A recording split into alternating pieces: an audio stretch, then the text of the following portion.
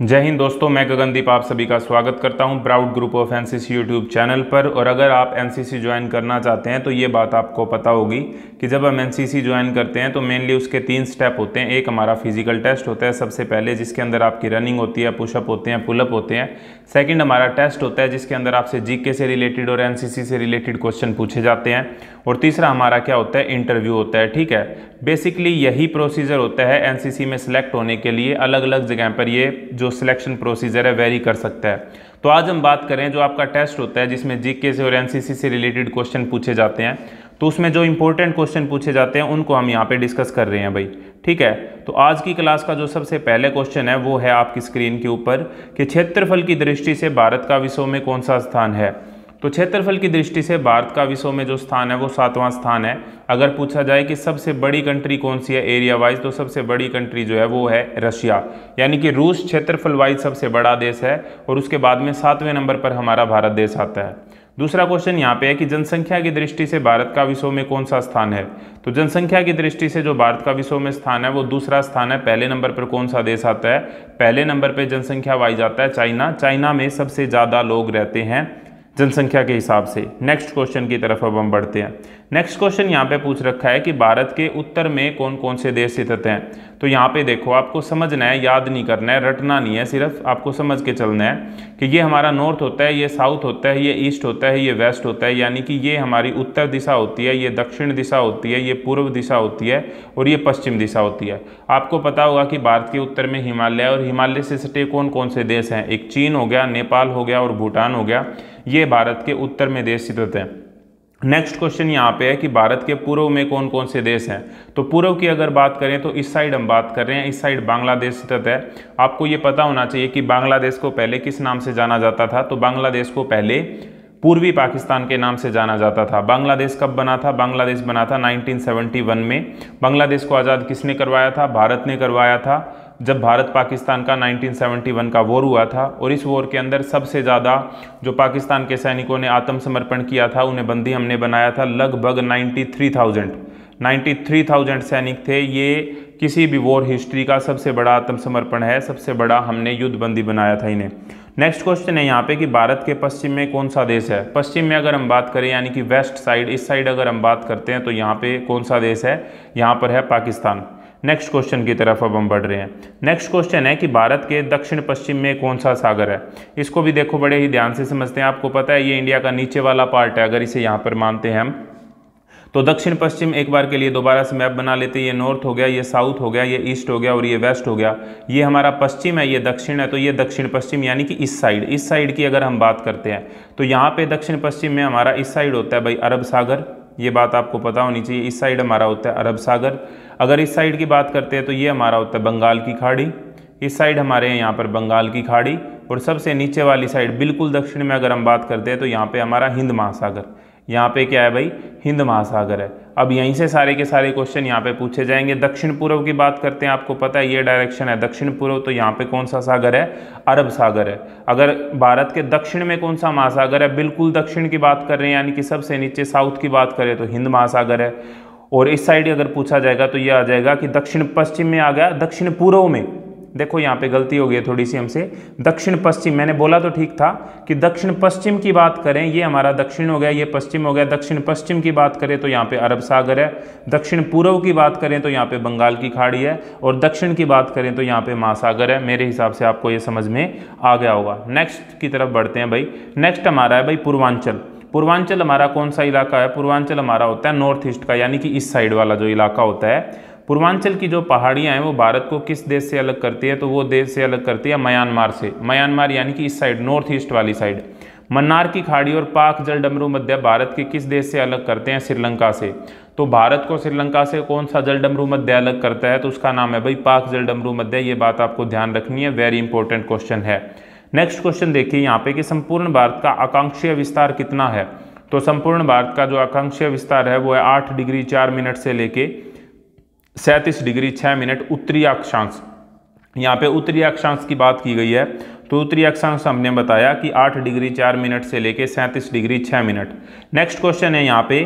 क्या है next question कि भारत के मध्य से कौन सी रेखा गुजरती है? तो भारत के रेखा से जो रे, रेखा गुजरती है वो हमारी है कर्क रेखा। कौन सी रेखा गुजरती है? कर्क रेखा गुजरती है। और कर्क रेखा कितने पे होती है? साढ़े तेईस डिग्री पे होती है भाई। कितने पे होती है? साढ़े तेईस डिग्री पे होती है। साढ़े तेईस डिग्री नॉर्थ। साढ़े तेईस डिग्री नॉर्थ को हम कर्क रेखा कहते हैं। क्या कहते हैं? साढ़े तेईस डिग्री नॉर्थ को हम कर्क रेखा कहते हैं। ये बात भी आपको ध्यान रखनी है। नेक्स्ट है यहाँ पे कि भारत के उत्तर से दक्षिण तक विस्तार कितना है। तो देखो अगेन वही वाली चीज़ यहाँ पे, ये मैप बड़ा हेल्पफुल होगा हमारे लिए नॉर्थ साउथ ईस्ट और वेस्ट अगर इस तरीके से हम देखते हैं कि उत्तर से दक्षिण जो हमारी एस से जो लंबाई है, वो कितनी है?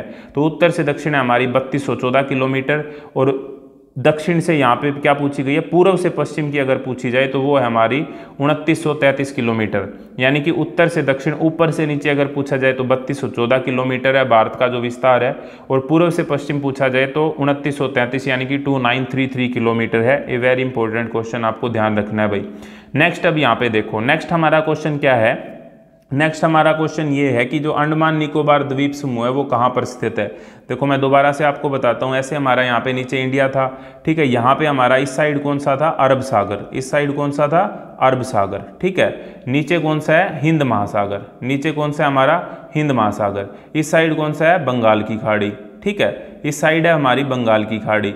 अगर हम डायरेक्शन देखें अगेन, यहाँ पे नॉर्थ, यहाँ पे साउथ, यहाँ पे ईस्ट और यहाँ पे वेस्ट।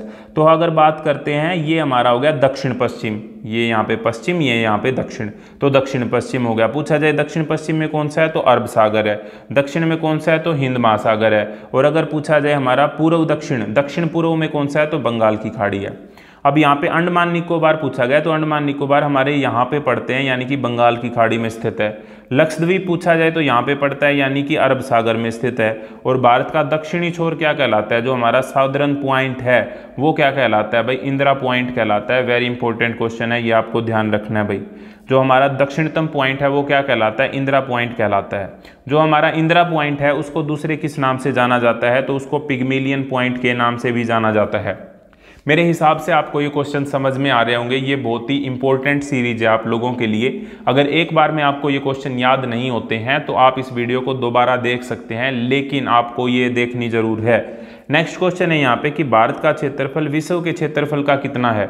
तो भारत का जो क्षेत्रफल है, वो विश्व के क्षेत्र का सिर्फ़ और सिर्फ़ दो पॉइंट बयालीस प्रतिशत है two point four two percent है। लेकिन अगर जनसंख्या की बात करें तो विश्व की कुल जनसंख्या का कितने प्रतिशत भारत में निवास करता है? तो सत्रह प्रतिशत भारत में निवास करता है। ये बात आपको पता होनी चाहिए। नेक्स्ट क्वेश्चन है यहाँ पे कि भारत का कुल क्षेत्रफल कितना है? तो भारत का कुल क्षेत्रफल जो है वो है बत्तीस लाख सतासी हज़ार दो सौ तिरसठ वर्ग किलोमीटर। यहाँ पे किलोमीटर है भैया तो भारत का कुल क्षेत्रफल अगर पूछा जाए तो बत्तीस लाख सतासी हज़ार दो सौ तिरसठ वर्ग किलोमीटर है। ये बात आपको ध्यान रखनी है। नेक्स्ट क्वेश्चन देखो। कि भारत की सथल सीमा से कौन कौन से देश लगे हैं? तो एक तो बांग्लादेश हो गया, जिसको हम पूर्वी पाकिस्तान के नाम से जानते हैं, चीन जो कि भारत के उत्तर में स्थित है, पाकिस्तान जो कि भारत के पश्चिम में स्थित है, नेपाल जो कि भारत के उत्तर में स्थित है, इसी तरीके से बर्मा और भूटान, ये भी हमारे उत्तर और उत्तर पूर्व के अंदर स्थित है। नेक्स्ट क्वेश्चन की तरफ़ हम बढ़ते हैं। नेक्स्ट क्वेश्चन है कि भारत की जल सीमा किन देशों से लगती है? तो देखो, जल सीमा की अगर हम बात करते हैं, यानी कि वाटर बाउंड्री तो मालदीव लगता है, श्रीलंका, बांग्लादेश के साथ भी हमारी वाटर बाउंड्री लगती है, म्यांमार और पाकिस्तान। देखो, पाकिस्तान के साथ हमारी जो लैंड बाउंड्री है, वो भी लगती है, और जल की जो सीमा है, वो भी लगती है। और इसी तरीके से अगर हम देखें, यहाँ पर दूसरा कौन सा देश पड़ता है, यहाँ पर? दूसरा आप देख सकते हैं, यहाँ पर कोई भी नहीं दिखाई दे रहा है। मैं नेक्स्ट क्वेश्चन की तरफ़ हम बढ़ते हैं। यहाँ पे जो बर्मा देश है, बिल्कुल बर्मा, म्यांमार एक ही बात है। तो म्यांमार है, इसके साथ भी हमारी लैंड बाउंड्री भी है और वाटर बाउंड्री भी है। नेक्स्ट देखो यहाँ पे कि कर्क रेखा किन राज्यों से होकर गुजरती है? तो कर्क रेखा जो गुजरती है वो राजस्थान, गुजरात, मध्य प्रदेश, छत्तीसगढ़, झारखंड, पश्चिम बंगाल, त्रिपुरा और मिजोरम। आपसे कई बार ये क्वेश्चन भी पूछ लिया जाता है कि कर्क रेखा भारत के कितने राज्यों से होकर गुजरती है? तो भारत के कुल आठ राज्यों से होकर गुजरती है। एक, दो, तीन, चार, पाँच, छः, सात और आठ। तो कर्क रेखा भारत के कुल कितने राज्यों से होकर गुजरती है? तो टोटल आठ राज्यों से होकर गुजरती है। ये बात आपको पता होनी चाहिए। नेक्स्ट क्वेश्चन देखो भाई। भारत की मुख्य भूमि की दक्षिण जो सीमा है, वो कितने अक्षांश है? तो दक्षिण सीमा जो है भारत की मुख्य भूमि की, वो है आठ डिग्री चार मिनट। ये बात आपको ध्यान रखनी है। भारत का जो मानक समय है, मानक समय होता है भाई स्टैंडर्ड टाइम स्टैंडर्ड टाइम आपको पता होगा कि दूसरे देश के अंदर जो टाइम है, वो चेंज हो जाता है टाइम जोन है, जो चेंज हो जाता है। तो हमारा जो स्टैंडर्ड टाइम है, वो कहाँ से लिया गया? तो वो इलाहाबाद के निकट नैनी नामक स्थान से लिया गया ये बात आपको ध्यान रखनी है।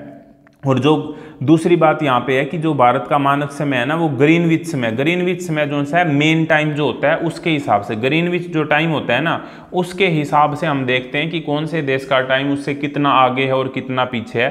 तो जो भारत का मानक समय है ना, वो ग्रीन विच टाइम से साढ़े पाँच घंटे आगे है। ये बात आप यहाँ पे लिख सकते हैं। साढ़े पाँच घंटे आगे है भाई, हमारा जो टाइम है ना, वो ग्रीन विच टाइम से कितना आगे है? साढ़े पाँच घंटे आगे है। नेक्स्ट क्वेश्चन यहाँ पे देखो कि भूमध्य रेखा भूमध्य रेखा से भारत के दक्षिण छोर की दूरी कितनी है? ये इतना इंपॉर्टेंट क्वेश्चन नहीं है, बाकी आप याद रख सकते हैं 876 किलोमीटर, भारत की सथल सीमा की लंबाई कितनी है? ये इंपॉर्टेंट क्वेश्चन है भाई, कि भारत की जो लैंड बाउंड्री है वो कितनी है? लैंड बाउंड्री है यहाँ पे पंद्रह दो किलोमीटर वेरी इंपॉर्टेंट क्वेश्चन है। कई बार एग्ज़ाम में पूछा गया है कि भारत की जो लैंड बाउंड्री है वो कितनी है? पंद्रह दो किलोमीटर। अब नेक्स्ट क्वेश्चन यहाँ पे जो आता है, ये भी वेरी इंपॉर्टेंट है। ये क्वेश्चन क्या है? कि भारत की मुख्य भूमि की तटरेखा कितनी है? देखो, तटरेखा की अगर बात करें टोटल की तो लगभग पिचहत्तर किलोमीटर है हमारी। तट रेखा की अगर हम बात करते हैं तट रेखा वो कि जो हमारी बाउंड्री समुद्र से लगती है। अगर टोटल बाउंड्री की बात करें तो वो है लगभग पिचहत्तर सौ किलोमीटर, जिसके अंदर अंडमान, निकोबार, लक्षद्वीप समूह जो आते हैं, वो सभी के सभी आते हैं। लेकिन जो मेन लैंड है मेन लैंड जो इंडिया है, उसकी अगर हम बाउंड्री की बात करते हैं तो वो है इकसठ सौ किलोमीटर। तो भारत की मुख्य भूमि की जो तटरेखा की लंबाई है, वो है इकसठ सौ किलोमीटर। और टोटल अगर हम बात करते हैं तो वो कितनी है? पिचहत्तर सौ किलोमीटर, ये बात आपको ध्यान रखनी है। तो आई होप ये सीरीज़ आपको पसंद आ रही होगी। इस सीरीज़ का जो लिंक है, वो प्लेलिस्ट बना के डिस्क्रिप्शन के अंदर डाल दिया गया है। आपके एग्ज़ाम तक रेगुलरली आपको इंपॉर्टेंट जीके और एनसीसी से रिलेटेड जो क्वेश्चन है, उसकी वीडियो मिलती रहेगी। इसी तरह की और वीडियो के लिए जुड़े रहिए proud group of NCC YouTube channel के साथ। नेक्स्ट वीडियो तक जय हिंद, जय Bharat. Thank you very much